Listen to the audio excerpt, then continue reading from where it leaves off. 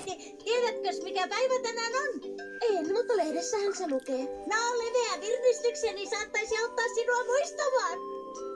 No niin, aamiainen on kate. Ei ole aikaa lähteä niin kauas. Ettekö te paukapäät muista, että tänään on... Äiti, pikkumyyllä on kauhea nälkä. Joko aamiainen on valmista? Valmista on. Anteeksi, kun saitte odotella.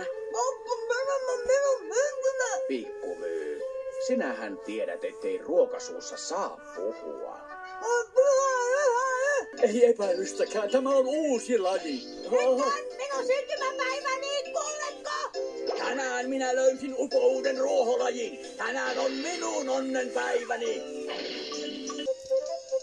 Tämä vielä muistetaan, sinä sekin oma hyväinen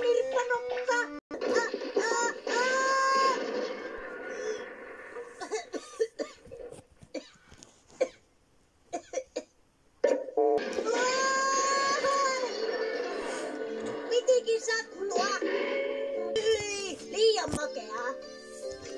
No, suolalla se korjaantuu. No nyt se pitäisi olla sopivaa. Maistetaan. Uää, Hirveä paha. Odella. Mitä sinä aiot? Suu auki. Isommalle. Anna nyt maistaa sitä. Kun olet syönyt, niin hyppää tulos tuosta ikkunasta. Anna jälkiruokaa. Ah, Yes!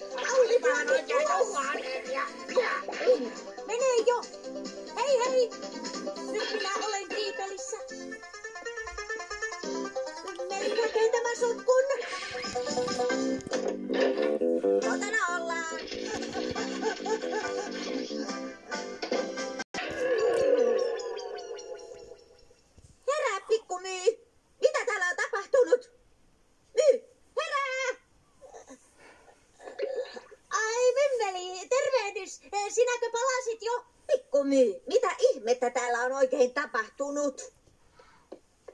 Mitä? Mistä sinä puhut? Ah, herran jestas, onpa kamala siivo! Myönnä pois, että se olit sinä.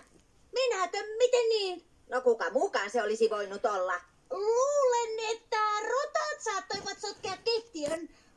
Olin kuulevinani keittiöstä rapinaa unen läpi. Hmm. Vai rotat? Vai sillä tavalla?